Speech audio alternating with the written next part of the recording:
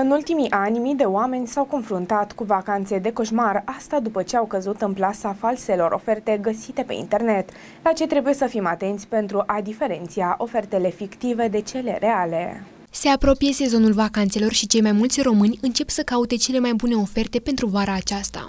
Atenție însă la excrocii din mediul online. Autoritatea Națională pentru Protecția Consumatorilor spune că o agenție reală de turism trebuie întotdeauna să ofere toate detaliile despre biletele de avion, cazare și masă. Le recomand turiștilor să apeleze la o agenție de turism pentru că acolo există consultanți în turism care îi pot ghida pe oameni. De asemenea, trebuie avut în vedere că agențiile de turism au contracte autorizate cu cazările pe care le recomandă turiștilor. Alegerea unei agenții de turism seamănă cu orice achiziție de pe internet. Trebuie să ne interesăm și să să verificăm agenția dacă este cunoscută. Mai mult decât atât, trebuie să verificăm dacă agenția este membră în anumite asociații și mai ales dacă aceasta este licențiată. În ultimii 15 ani au început să apară site-uri fantomă care nu au în spate o agenție de turism, dar care atrag prin faptul că propun oferte extrem de ieftine și poze foarte atrăgătoare. Tarifele nu pot fi cu mult diferite de la o agenție la alta, a declarat Raian Bădulescu, consultant în turism. Relatează antena3.ro.